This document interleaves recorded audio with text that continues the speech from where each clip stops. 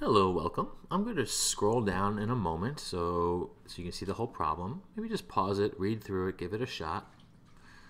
All right, this is the problem. But let's just start, start solving it together. Uh, it's a lot to read.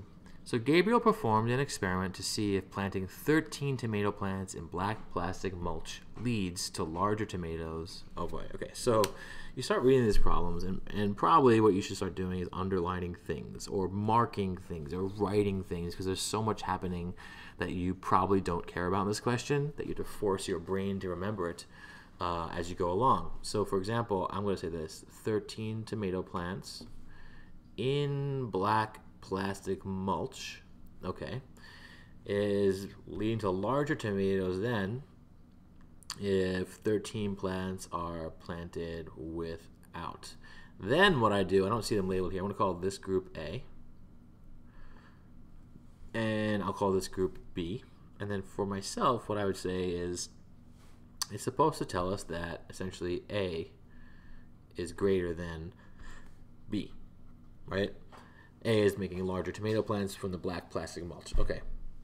He observed that an average weight of the tomatoes from tomato plants grown, grown in black plastic mulch. So that's I'm going to label that for myself. I feel like I've made this easier now by calling that in A.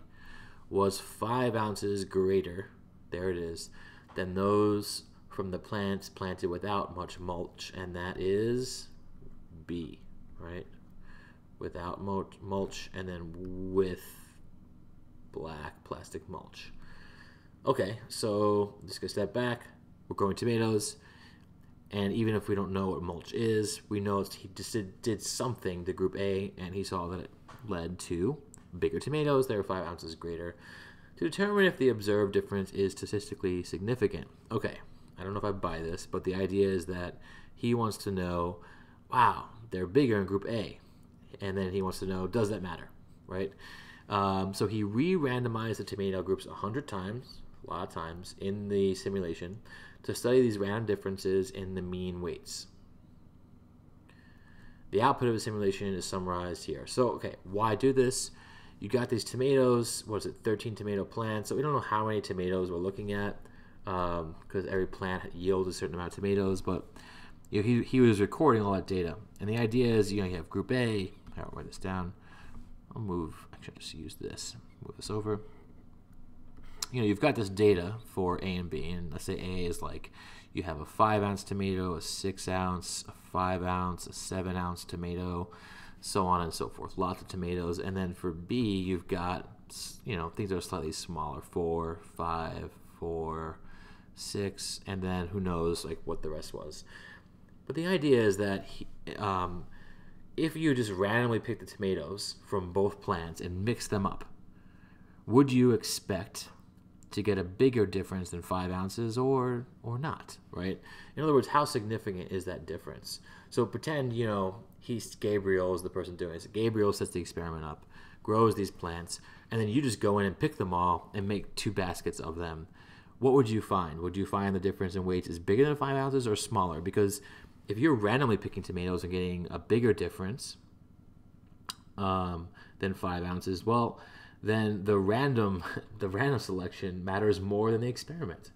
That's the idea. So you're using randomness to figure out is your result meaningful? Because if you just pick them randomly and get a bigger difference than the study, then the then the black plastic mulch in this case is not making that big of an impact. And you can see right here. Where's five about here? Okay, so look at this. Just by randomly reshuffling tomatoes, you're getting a difference of five quite often and you're getting a difference of more than five, even more than that. So maybe a difference of like 20 ounces on average, that would be really significant. But, ten, you know, 10, 5, 0, right? That's not so significant. I mean, that's happening a lot in random shufflings. But so is 5. So they want us to say which is an appropriate inference that can be drawn here. And let's look at 2. That's, that's the answer. It says, there was an effect observed Okay, so he observed an effect, 5 ounces, that could be due to the random assignment of plants to the groups. So, you know, you see it here. It's possible to get 5 ounces just from the randomness, not from the black plastic mulch. So that's, that's an inference that's pretty fair. Choice 1 says there was no effect observed between the two groups. Well, there was. There was lots of differences here.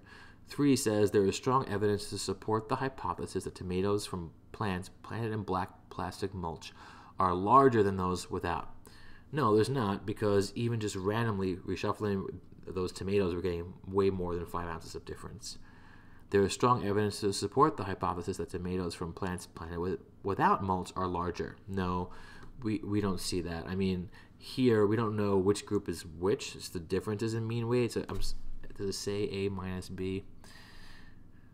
So I mean, I guess negative differences. Those would be situations where B I think is larger than A. So it is that is happening sometimes, but I don't know how significant that is. It's it seems to be happening that A is typically larger than B, but again, these are random assignments. Okay.